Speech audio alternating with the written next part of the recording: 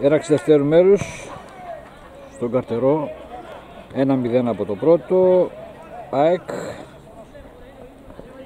με τον γκολ του Αφεντόπουλου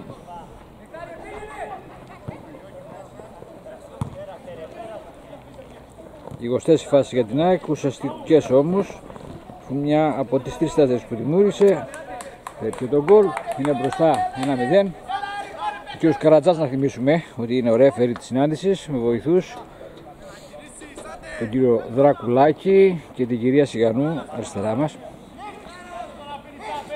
Γόλφι 94 στην επίθεση. Στην πρώτη φάση ένα υπέροχο γκολ φοβερό γκολ. Φοβερό γκολ στην πρώτη επίθεση. Στο δεύτερο μέρος για τον Όφη που είχε δυναμικά πέτυχε ένα υπέροχο γκολ στη γωνιά. Το μάτς νωρίς νωρίς 1-1 πριν τη συμπλήρωση του πρώτου λεπτού